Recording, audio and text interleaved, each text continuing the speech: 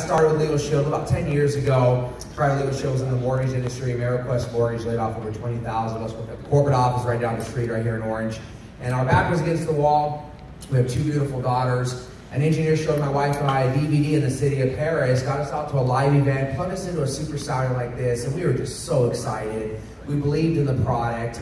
Our goal was just to make an extra, you know, $500 a month. Within 33 months, the company was paying M and I a six-figure income. And what Legal Shield means to us, and of course the car bonus, the pay vacation, that's all LSF is fantastic.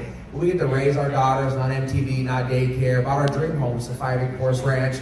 Here's our dream lifestyle, which is horses and 12 chickens. So it's awesome. hey, I love it. Our chickens don't take Sundays off. I love it. They age every day. What Legal Shield means to M and I is if it wasn't for this business and just sacrificing. Seven months ago, we've been on the street. I was in the hospital with colon cancer. God's good though. Cut us open, got everything out. At 33 years old, we rocked our world, and we have two daughters. But because they, because of this business, we built a business. We created leverage income. And we are so thankful for this amazing opportunity. Now, at the age of 34 years old, Legal Shield has been a true blessing to us. And so we love Legal Shield. Now, you're going to hear from individuals that haven't just made, you know, a few hundred thousand dollars. Of course, they all make a few hundred thousand dollars a year from home.